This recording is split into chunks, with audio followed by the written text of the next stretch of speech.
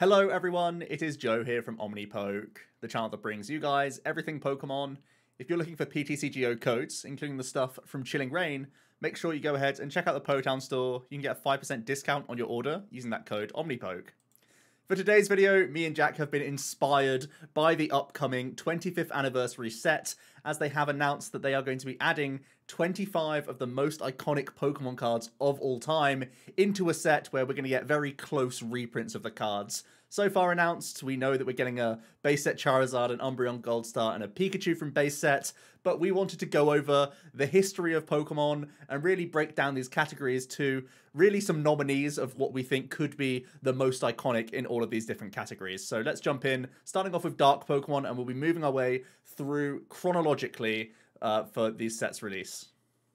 Yeah, so kicking off with Dark Pokemon, we actually saw Dark Pokemon in a variety of different ways. Uh, in the Gen 1 era, you can see we've picked uh, few nominees, plus Dark Blastoise, which is going to be our winner. We both love the art on Dark Blastoise, plus Blastoise is a fan favorite anyway. Uh, but also, it was pretty close because there was some Dark Pokemon printed uh, in Team Rocket Returns as well, kind of a throwback to when they were first printed in the Rocket set. Um, and we also think Dark Dragonite is a very, very, very good nominee. Fantastic art, a beautiful card, especially in that reverse holo print where the actual uh, picture is a holographic. Uh, but yeah, this is kind of the layout of the slides. We're going to have some of our nominees on the side and then our winner uh, off to the right.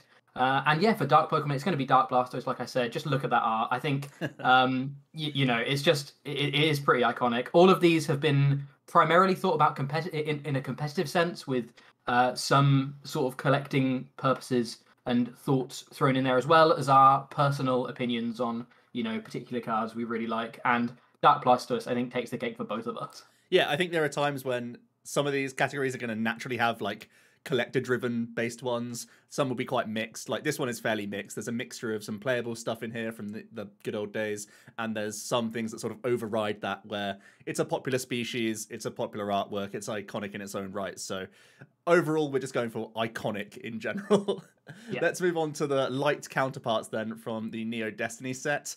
We think Light Arcanine really encapsulates that. It's just too good of a collector card to not have there wasn't that many playable light Pokemon in general, so this is more on the collecting front. I think Light Dragonite probably the most playable of the light uh, Pokemon back in the day, but even then it was kind of niche, kind of fringe. There weren't even that many holographic Pokemon uh, in the light category. I think there's only Azumarill and Togetic as well here. So we've got yeah. some common and uncommons going on.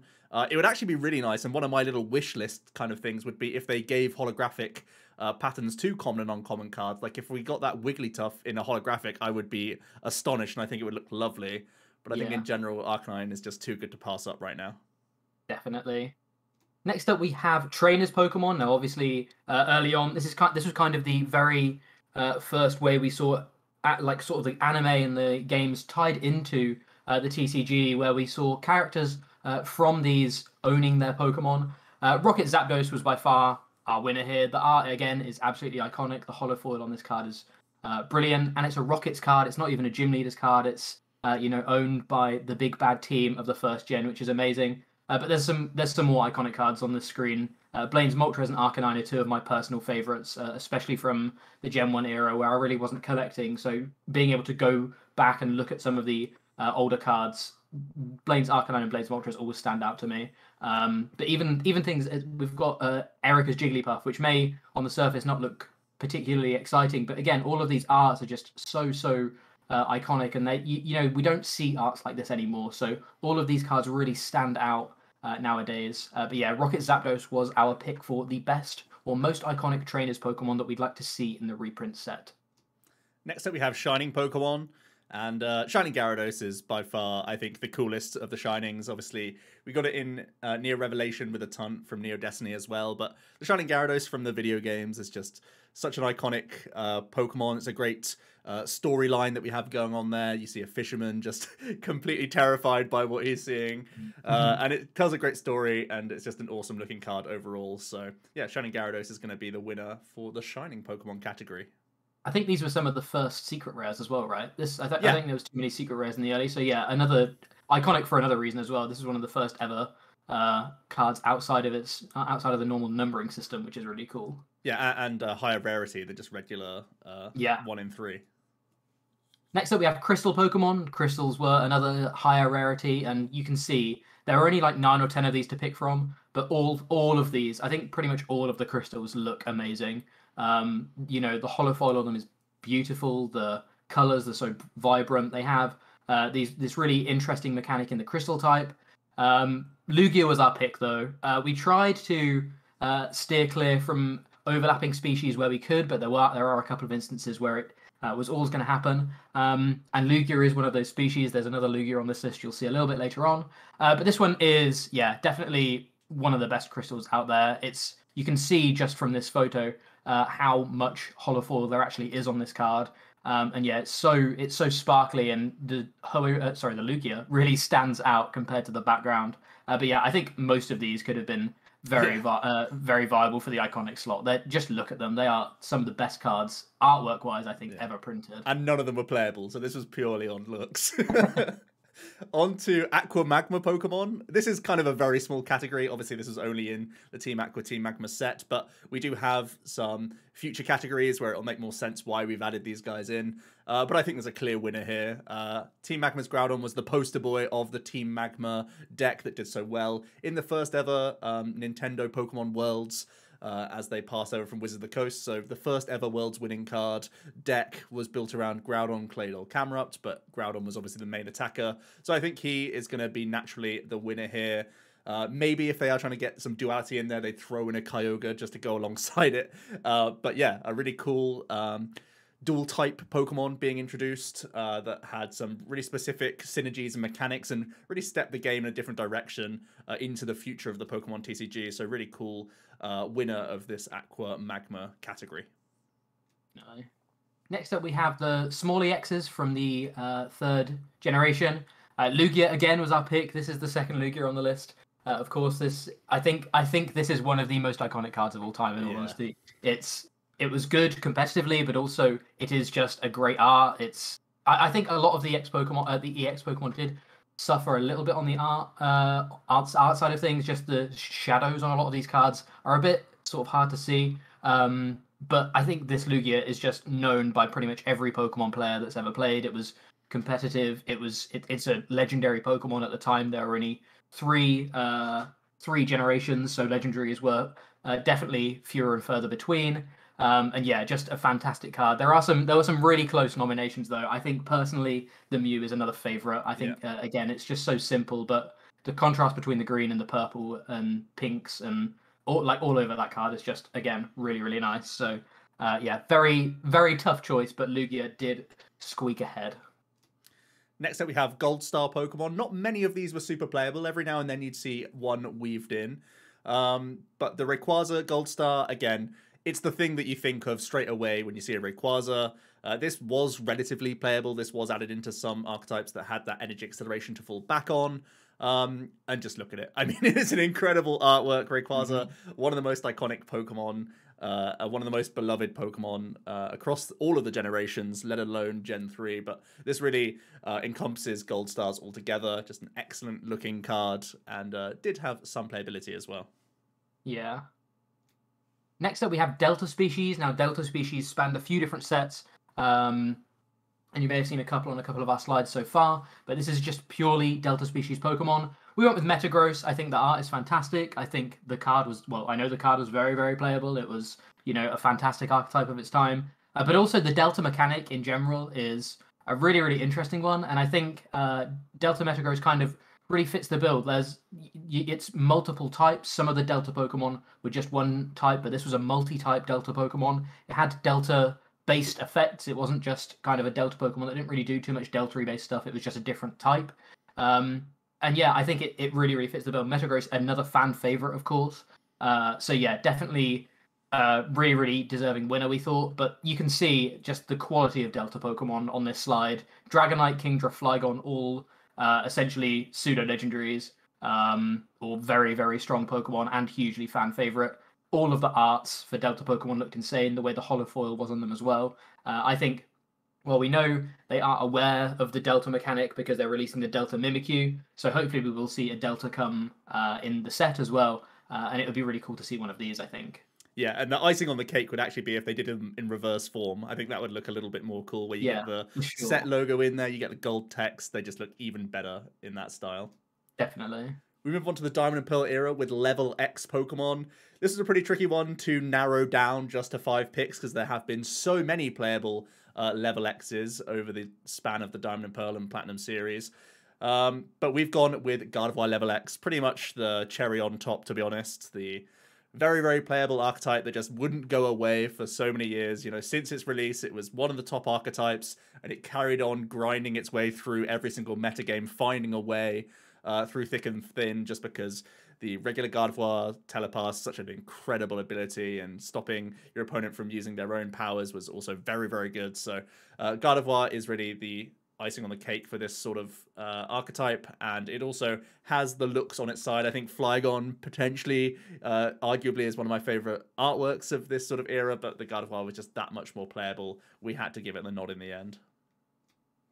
Next up, we have SP Pokemon. You may have been wondering why Luxray GL Level X wasn't I winner for the Level X's. That's because we separated SP Pokemon out because uh, Luxray is was just one of the most insane cards of all time. Bright Look at the time was literally meta defining. The SP engine in general completely changed the meta game. Uh, it was sort of the first time we saw uh, big basics in the form of evolved Pokemon um, be super competitive, which was cool. Uh, the whole SP engine was the first like apart from like magma aqua engines it was the first time we'd seen that engine for i think four or five years uh, so it kind of got a facelift and the cards were insane uh, you know Luxray alone was bonkers but Gar- all four of these cards particularly i think garchomp was a very deserving Yeah. runner-up um, garchomp i think is heralded as one of the best attackers of all time for its time obviously it doesn't compare to some of the stats of these days but at the time uh, it was just absolutely bonkers. It was both of these cards were meta defining, uh, but Luxray came out all that just that little bit earlier, and I think probably saw overall more CP if we were in a CP style era. so it slightly wins out just there. Uh, but yeah, you can you can tell this was an insanely hard category to uh, break down just because of the quality of the cards uh, in the SP era. Next up, we have Prime Pokemon moving on to the Heart Gold Soul Silver series. And again, a really, really hard fought category. Turns out so many of the Prime Pokemon ended up being playable in one era or another. Uh, just very, very solid statted cards, always with like good Poké-Powers on there as well, or bodies. Uh, we've gone for Magnezone just because he was mostly the backbone of all sorts of different creations. You know, uh, he would make any sort of funky archetype work. You could even play a 101 line of Magnezone and no one would bat an eyelid just because when you got it into play, it milked so much value. Just such a ridiculous card. Shout out to Gengar because there is that sort of harping to the Lost Zone, another new mechanic in the TCG. So you can also see a reason for why they may go down that route. Uh, also, Gengar's a kind of popular species out there and has some good artwork on his side. But in the end, Magnezone probably the most playable Prime overall, just for his splash ability in general, just like ridiculous value that he would gain, not only from drawing cards, but also taking big one hit KOs that wasn't all that easy in this format otherwise. So yeah, Magnezone, just a crazy card. Definitely. Next up, we have the other big aspect of the HGSS era, which was Legend Pokemon. Uh, most of these really were not playable. Some, I think, a few of them saw very niche play. The only ones that really saw a lot of play was RDL, Rayquaza, and Deoxys Legend, um, and that's the one we've chosen. It's easily the most iconic. It's it was the one that people recognized in decks. It was played competitively. It actually uh, was very very good in Magnezone decks, which was pretty cool. Uh, so it would be cool if they kind of uh, paired these two off together. It would be. I, I don't think we're likely to get a legend Pokemon, but this would definitely be our pick if we were to. Uh, but I think all of these the, these arts were kind of the first thing we'd ever seen like this. Um, typically, a lot of arts to, up to this point uh, had stayed within like the the boxes, the confined to the boxes that they were usually drawn in. This was these were kind of the first ever real full art cards, uh, and you we've never seen artwork like this really. I don't think even even since with like some of the alt arts and stuff. I still think some of them don't even scratch the surface on how good Legend Pokemon looked. So I don't think it'll ever happen, but I would really love to see a reprint of RDL in the collector set personally. Next up, we're going on to full art trainers. Full arts were introduced in the black and white set and uh, carried on all the way through the Sun and Moon sets as well, and is carrying on even today. Uh, we've gone with N being the poster boy of pretty much the TCG twice over. Uh, he's been in our format and he's just been remarkable every time. He's pretty much known as like the healthiest, best card ever, and really does help the prizing mechanic of Pokemon be more balanced for giving players the chance to actually come back, even if they had flow, uh, slow starts. Or you can uh, navigate game plans around making your opponent at some point in the game have a low hand size and then can't mount a comeback. So it makes the game much more positional in terms of board state rather than exactly how many prizes both players have. So everyone kind of wants this guy back, and I think even from an art style, always looking great. There's some debate whether you would prefer this one or the reprint that we got from the best of XY. Uh, oh, sorry, the best of black and white. I think it was. Can't remember. No, I think it was the best it was of XY. XY. Yeah, yeah, it was. Yeah, yeah. Because uh, it was reprinted, right? Uh, but either way, I'd be happy with either. Uh, there's been some yeah. incredible supporters that we've had throughout the years, and you know, shout out to Cynthia as well, being one of the most popular um, supporters out there as well. A ton of waifu cards have gone up in value recently, so there's obviously demand around those. Trump card, obviously a banned card uh, because yeah. he was again equally uh, sort of game breaking in how he changed up the format. Obviously, he ended in kind of a bad rap where everyone was just going down uh, Shaymin Toad route, but pre that archetype, we had some really cool decks uh, being formed where you could just cycle aggressively. It meant that most people were getting what they wanted to do every turn done, which made some crazy wombo combos happen. So that was also really cool time to play the TCG and was very different to most eras of Pokemon. Definitely. Next up, we have EX Pokemon. This is the uh, again the ones that started in the uh, Black and White era and went all the way through to the uh, end of X and Y. Uh, we picked Mewtwo because Mewtwo is Mewtwo, but also it was the first reprinted EX Pokemon when they reintroduced the mechanic. Uh, the art is absolutely fantastic. This card was absolutely meta defining. The phrase Mewtwo Wars come like was born uh, because of this card, and it, it didn't go away until Mewtwo rotated. Um, yeah, this card was obviously absolutely insane. It's one of the most iconic Pokemon cards of all time, I think, especially of the modern era. Uh, if you consider sort of black uh, well yeah black and white onwards the modern era. I think it's one of the poster boys. Everyone knows what mewtwo did. Everyone knows how good mewtwo was.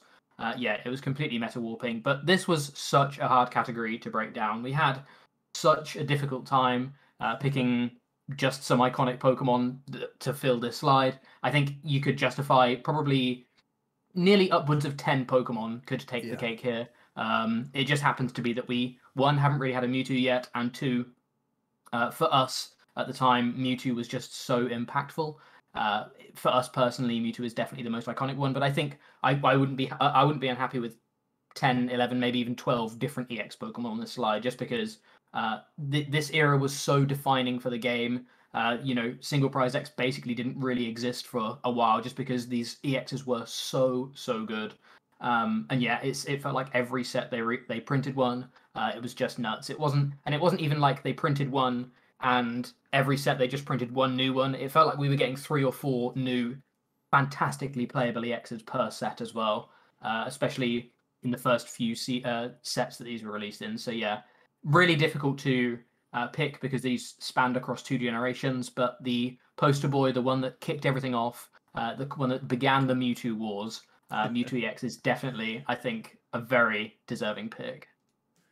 Uh, next up, we have Specs. I'm pretty sure they won't print Specs, but it could give uh, the Pokemon Company a good opportunity to actually reprint comp search or dowsing machine uh, for expanded players. If they made these reprints playable uh, for people it could uh, allow newer players to have an easier entry point to the expanded format which i think would actually be a really good tactical move for pokemon. So obviously people don't want this from a collector standpoint too much but giving mm-hmm. us comp search and dowsing would be really really a smart move uh, for the expanded player base especially in america of course. But if they were to bring it over to europe as well and other regions uh, it would be a big thumbs up from us definitely. Next up, we have Plasma Pokemon, kind of uh, uh, similarly to how SPs were separate from Level X's. We have uh, separated Plasma Pokemon out because there were a couple of uh, highlight Plasma Pokemon that weren't EXs. We have, of course, picked Genesect EX. Uh, I think there were many, again, many good picks here. But Genesect EX, Plasma Genesect, kind of defined a whole archetype and was an insanely good card. It built its own deck. It was uh, pretty meta warping. But even just some of the first plasma cards, uh, the four nominations were all uh, kind of in a deck together at one point. Uh, at least three of them were, and you know you could never. Lugia had its own archetype. uh, just being such an efficient attacker, taking extra prizes. So all of these were very, very competitive. Not overly. Uh, there, there wasn't. They didn't have amazing art. I think the Lugia is the only one that has really, really good art, personally, in my opinion. Um, but for their competitive viability, all of these were uh, very, very strong, and the arts were definitely unique as well. There's. It's very rare that we see a whole mechanic kind of um, focused around one art style, and this the whole blue borders and blue lightning around all of these cards, that kind of thing. Uh, we'd never really seen anything like that artwork wise before. So these were definitely uh, somewhat meta defining competitively, uh, but also uh, kind of a landmark in design, uh, which is pretty cool. So yeah, it would be really cool for them to hark to the plasma Pokemon, especially as we kind of see battle styles and single strike and rapid strike, which is pretty much a very similar thing in all fairness uh, these days. So I feel like there would be a lot of people that could relate to these cards that maybe didn't even play uh, back in the Plasma era. Next up, we have the Mega Pokemon mechanic. Uh, we've once gone gone with uh, Rayquaza. I think it breaches that split between obviously being a very uh, dynamic deck that had a lot of results and was played in multiple eras of Pokemon, but also does cater to those collectors you know, if it was me and Jack picking this list uh, on our own personal biases, we'd pick Gardevoir in a heartbeat. Uh, yep. Megarodino as well obviously had that highlight in Worlds, but what didn't really have the longevity that Rayquaza did in its various different forms. It went through all sorts of different iterations of different type coverages uh, in a, in the back to sort of support it. Uh, you know, there were straight builds, there were metal, water, dark builds, all sorts of different ways you could play Rayquaza uh, throughout its lifespan. So really, really solid card. It also, alongside Skyfield, helped sort of break another game state. So there is that sort of landmark element that you do attribute to Rayquaza so often. Uh, by having that massive bench. And of course, that's come back, reiterated with um, Eternatus more recently as well. So, like you said, uh, with the Plasma Pokemon, this could be a way for people to tap into that older era of Pokemon if they are one of the newer uh, collectors out there. Definitely. Next up, we have Break, uh, Break Pokemon, a mechanic that was um, only around for a year or so, but definitely uh, kind of a really interesting one. This was at a time where we had some good evolutions, but like I say, EXs were still very strong. Uh, so you wouldn't really think that breaks would work, stage three Pokemon in certain circumstances, and honestly, most of them didn't. But Greninja Break definitely did. Greninja is, I think, one of the most iconic decks of all time. Uh, for how much people hated it more than anything, to be honest.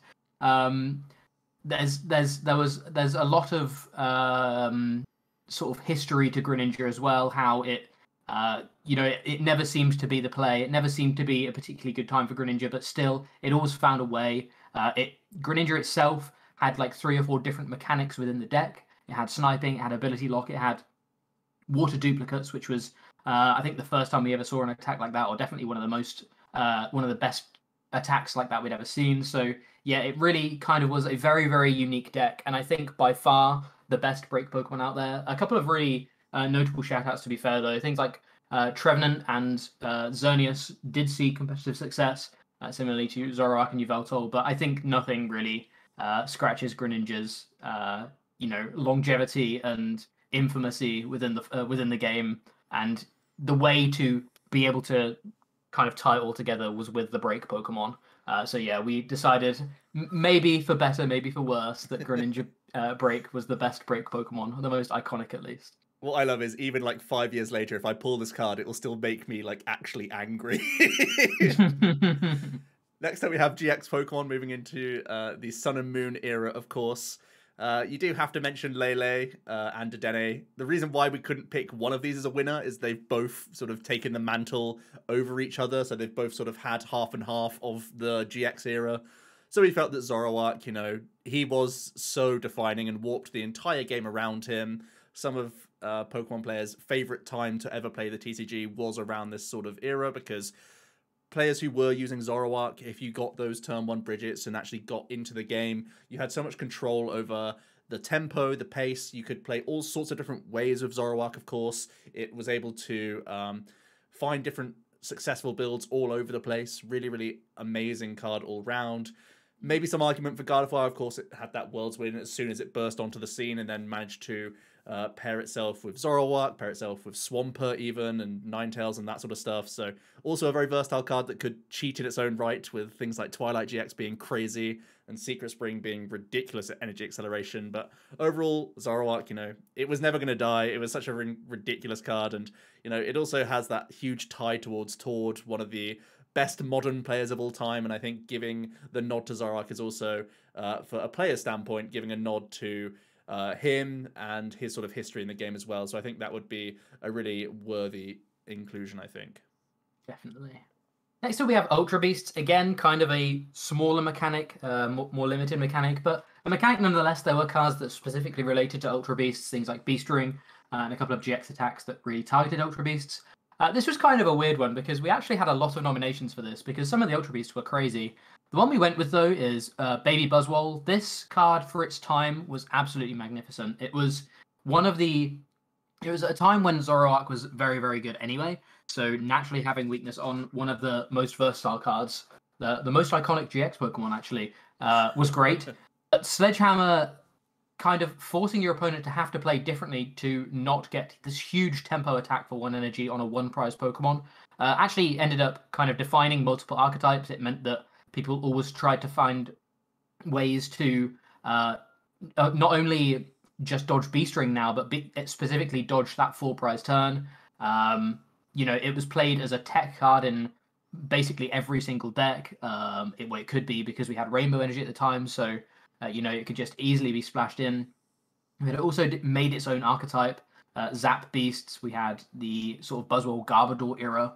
Um, you know, there was there was a lot of very very strong decks that it got even stronger just by being able to play one Buzzwole and a couple of Rainbow Energy, and all of a sudden you were able to just do a 120 poke, uh, sometimes taking two prizes, but even just a 120 poke on an attacker that you really didn't care about was amazing. So yeah, definitely one of the most ultra, uh, one of the most defining Ultra Beasts. Uh, it was very difficult to pick between, I think for us at least, Buzzwole, Baby Buzzwole, and Buzzwole GX. But there is argument for Baby Blacephalon as well. I think the card probably uh, has frustrated people, maybe at this point even more than Greninja did, um, just from being being so efficient and having an unlimited damage cap in a time where uh, things like tag teams were out, where you end up taking three prizes on a one prize Pokemon. Um, usually, th- these kind of things are what people like. They like to be able to compete with one prize decks, but I think um, Blacephalon really broke the mold in that, and a lot of people really don't like the card, which is quite kind of makes it iconic in its own right.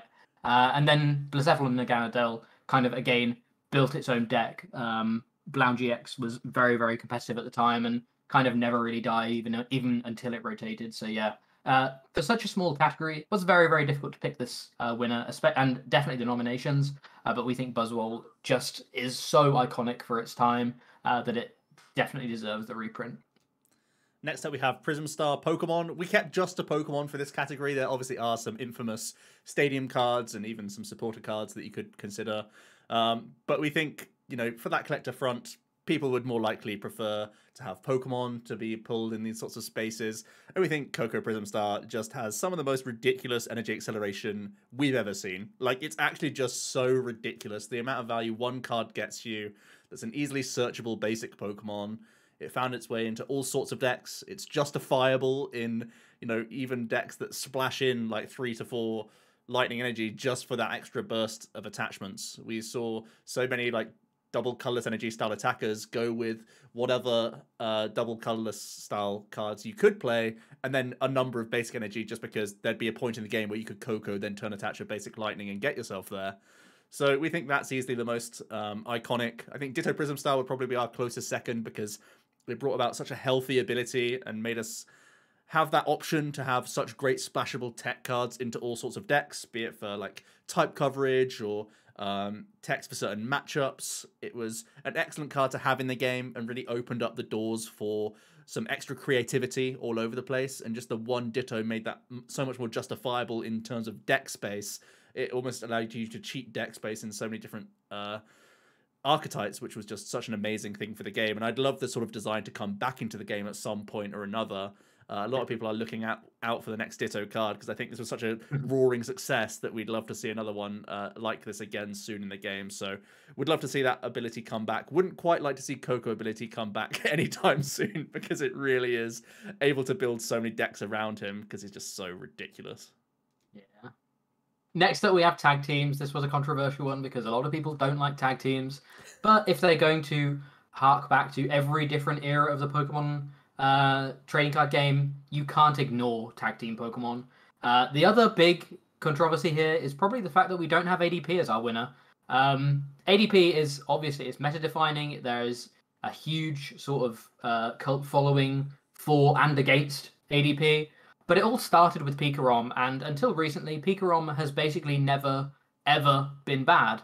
And even now, it's not bad. It's just adapted to playing Mewtwo and Mew for type coverage. Um, I think this is. I think Pikarom is one of the only cards, other than things like uh, Mewtwo EX and Yveltal EX, that has always been good in its tenure in the TCG. Um, it's always been at least like tier two. Usually, in all fairness, after a format's settled down, it's found itself in tier one. I can't think of many times when this wasn't a tier one archetype. Um, it's constantly adapting. It's gone from hyper aggressive to hyper defensive to somewhere in the middle. It's we've had Mewtwo builds based around Pikarom. We've had Pikarom builds based around based around Mewtwo. You know, it was the first ever tag team. Uh, it's a Pikachu. We haven't got a Pikachu on this list as well.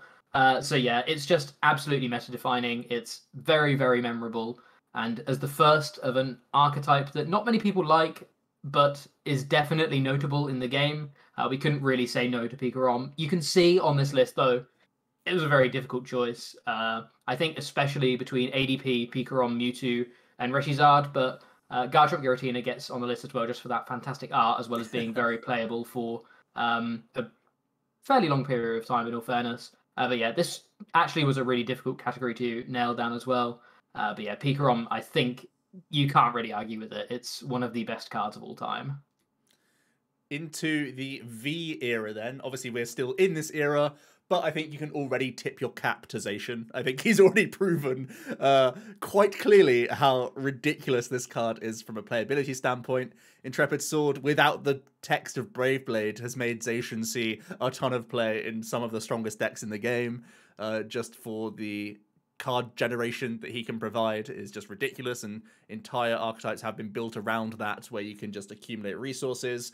But when you combine this attacking presence, it's been the basis of a couple of some of the strongest decks in the game. Uh, the defensive LucMetal approach and the aggressive ADP approach. There's also been like temposation in there as well when we had Jirachi Prism Star, uh, Mr. Mime, which I think was really cool. There's just so many ways you can see Zacian uh, work and. Uh, even to this day, it's seeing a lot of play. Uh, really, really strong card. Um, obviously, it's a poster boy of um, Sword and Shield as well. So there is that collector base there that you could harp back on as well. So that's by far and away the most iconic V Pokemon we've seen so far. Definitely. Onto the VMAXs, and this is a really weird one. I think uh, because we're so early into the VMAX era, and there's probably been more playable Vs than VMAXs, it feels weird to call one of these iconic as of yet, but uh, we wanted to include them anyway, and Eternatus was definitely our pick. I think under normal circumstances, we would have a single strike and rapid strike section, and I think Urshifu VMAX would definitely take that, at least given what we know currently. Um, but I think for the regular VMAXs, Eternatus is the one that sticks out to uh, most people. Obviously, it felt like this was the first VMAX that really broke the game. Uh, we had a couple of sets of VMAXs prior, but and obviously things like Dragapult were good, but they never felt game breaking. They were just very, very efficient. But Eternatus broke the game. It let you have up to eight bench Pokemon, similarly to Skyfield, which is definitely, uh, especially for newer players, probably the first time I've ever seen this. For more experienced players, they may kind of think this is a bit of a cop out, especially as we already have Mega Ray on the list. Uh, but I think there hasn't been another VMAX other than maybe Rapid Strike Urshifu and now Calyrex uh, that is as iconic. And it felt weird giving it to Calyrex given that it's only been out for two weeks. Um, and Urshifu even though it's only been out for three months, it still felt a bit weird giving it to it. So I think Eternatus is definitely the one. Plus, it's uh, it's Eternatus. It's the big bad of uh, Gen Eight, and it's the only Eternamax Pokemon. Whether that will ever change, we don't know. But um, definitely, there's sort of intricacies to its um, VMAX form as well. So yeah, really weird, really weird one to pick, especially given that we're still in this era, a bit like the Zacian one. Uh, but I think Eternatus is just one of those Pokemon that will never really be forgotten because of uh, how much it changed the metagame. Next up, we have Amazing Rares again, kind of a uh, more modern thing, and we know that most of these haven't had much playability out of some great highlight reel YouTube videos. Uh, but we go with Jirachi here. Uh, Jirachi, a really iconic Pokemon for collectors. It's some of the better artwork, I think, personally, uh, and it has that little edge over the others in a slight bit of hope for playability as well. Um, it's obviously being overshadowed right now by other Jirachis, um, but maybe there'll be a day where we actually have to use Dreamy Revelation as some of our setups. So yeah, Jirachi is going to take uh, the Amazing Rare slot. And that's it. That's every mechanic that we could think of in terms of their most well, the most iconic iconic Pokemon for each mechanic. Obviously, there's plenty more iconic Pokemon out there. Uh, you can see four right here that I've all seen play, but there's there's hundreds of Pokemon we could have if we were just looking at iconic Pokemon in general. And if that's something you'd like to see, let us know. Uh, we really enjoyed making this video. We had a lot of internal debate, uh, a lot of sort of discussion about where we think some of these cards landed, which was great. Uh, it was really enjoyable to kind of reminisce for some of the decks. I mean, Joe and I have been playing Vanilla 12 years now, so it was nice to go back and think about some of these different archetypes that um, we maybe haven't looked at for a little while. So yeah, we would love to do something similar if you guys would be interested. Maybe looking at each era, maybe each generation, and some of the more uh, niche, iconic Pokemon that weren't tied to a mechanic. Uh, you can see four here uh, that would definitely make their respective lists. Uh, so yeah, it would definitely be a really interesting one to look into more. Um, I really hope we see some of the cards we've picked today in the celebration set. I'm not usually one for collector sets, but I'm really excited about celebrations and what uh, sort sort of the nostalgia that's going to be tied to it. So uh, it's going to be really really good. Yeah, really excited. Thanks for watching, guys. Let us know uh, if you would have anything else on your list or if you would pick another of our nominees. Um, hope you did enjoy, and we'll be back with more content tomorrow. Cheers.